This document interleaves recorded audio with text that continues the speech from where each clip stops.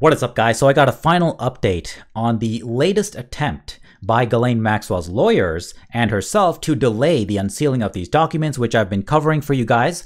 Um, I just made a video literally a couple hours ago regarding it, and we have the final decision. And as I predicted in my last video, as I guessed, Judge Preska has denied Ghislaine Maxwell's request to extend the unsealing of these documents. As you see here, I got the legal document. This literally dropped like five minutes ago. I just got it in my email. So, no, no, to be fair, she probably wrote it um, like hours ago, but we got a decision here. So, on Virginia Roberts versus Ghislaine Maxwell, just this is Loretta Preska, senior United States District Judge writing.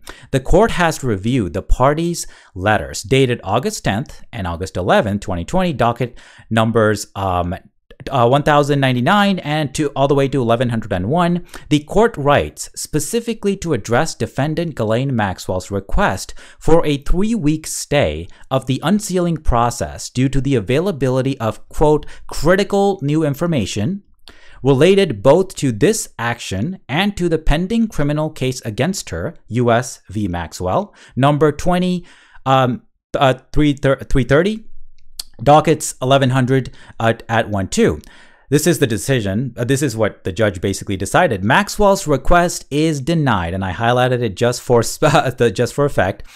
Given that Miss Maxwell is not at liberty to disclose this new information because it is subject to the protective order in the criminal action, the court has no reasonable basis to impose a stay.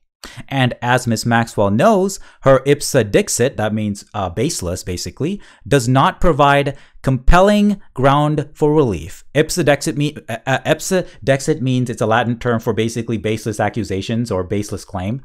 That's what that means. Should the protective order in the criminal action be modified to permit disclosure of the relevant information to the court, Miss Maxwell may renew her request for a stay of the unsealing process. So they basically tried to use mysterious a mysterious magical criminal case that nobody knows about that they don't even want to tell us about they tried to use that as an excuse. So was the judge basically said if you can let us know what this criminal case is all about and how it's relevant to our case now then we might consider your uh, your uh, your grounds for you know delaying the unsealing because we want to see that it has relevance to this case. So they're trying to use this uh, this mysterious uh, criminal case that nobody knows about they want to use that as, a, as an excuse to delay this unsealing process. And the judge I, as I hoped, has seen through this ruse, and she has basically voted against them or, or decided against them. So there you go. I just wanted to drop this. This is just really fast and, and straightforward.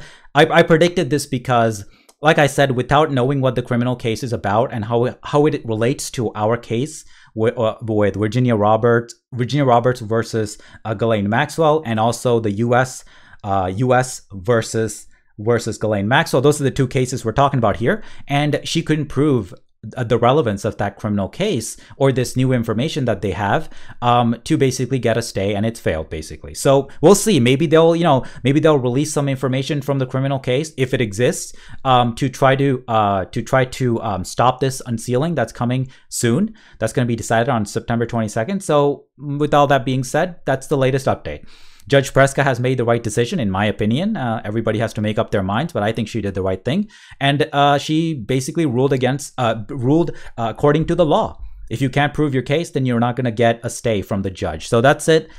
Quick update for you guys once again. See you guys. In, see you guys tomorrow in my next video. With that being said, peace.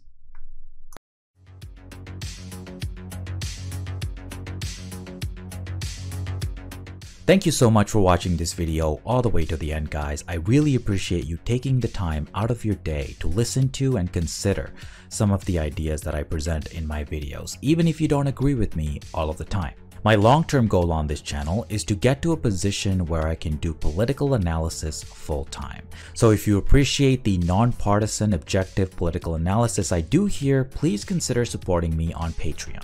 It is the only way independent political analysts like myself can make a living discussing politics. Grassroots funding is the best way for political analysts to stay unbought and unbossed in my opinion.